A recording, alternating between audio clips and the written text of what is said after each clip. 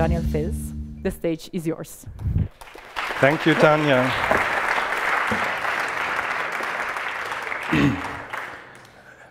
Good evening. So, as you heard, I'm Daniel. I'm a biologist, and we will dive quite quickly into the electromagnetic world. There is a load of electromagnetic waves coming from the universe on our planet. Some are filtered, some reach the ecosystems, and life is used to them. The question is technical devices use electromagnetic waves to send and receive, and what about cells? Are cells also sensitive to electromagnetic waves? Now, this man here is actually, he was 11 times nominated for Nobel Prize. Alexander Gurevich discovered that cells do emit electromagnetic waves. And the question we should ask is also whether they do receive it.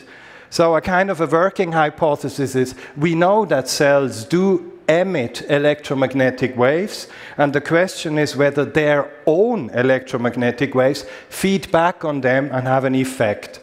So I'm taking you a little bit into research how to answer that question. This is just a glass barrier which doesn't allow material to trespass from left to right. These are cells using electromagnetic waves that can trespass. And with that method, this is like a little aquarium with a group of cells here, another one in the smaller tank. These are the cells. With this system, one can ask cells whether they have an effect on each other. So in, in a series of experiments, I wanted to find out first, are they sensitive? What is the function of the signals? And probably also whether different organisms can talk to each other. We do not go into details, but these were the first results that were telling me there are strong effects if they have many neighbors or a few neighbors. This was highly significant in two different systems. And analyzing that, I wondered whether the regulation of cell density is electromagnetically organized. What has that to do with us? If your cells are not regulated in density, we all would look monstrous. So there is a regulation. The question is whether it's electromagnetic.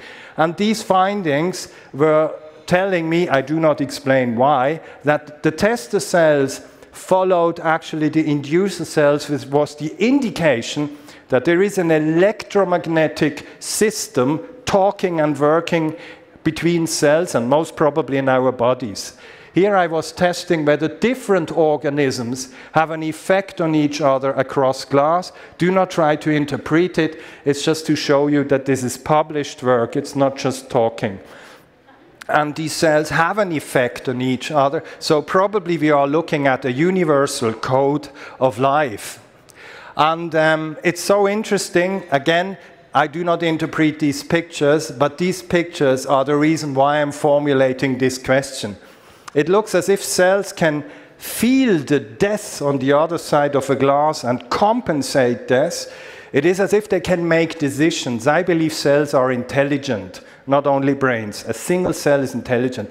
I'm not the only one who does this work. There's a book with 16 chapters written by experts in the field of fields of the cell. Even though the topic is not yet mainstream, there is an increasing worldwide interest in the electromagnetic aspect of our body. And um, just be aware when you stand on a weighing machine, you're measuring your chemicals, your matter. The fields have zero gram contribution. In summary, cells have fields and matter, are sensitive to material and fields, talk chemically and electromagnetically with each other, and probably inherit not only DNA, but also the fields. We should take the whole issue serious, not making us crazy, but I think we should learn more and inform ourselves. The cells I'm working with, when you place them beside a cell phone, and the control is cell phone switched off, cell phone switched on, and cells, they show crippled shapes and cannot grow anymore. So I take it serious, and I'm just talking in the place of these cells. We can talk chemically, but also with light. Electromagnetic waves are light. Thank you for your attention.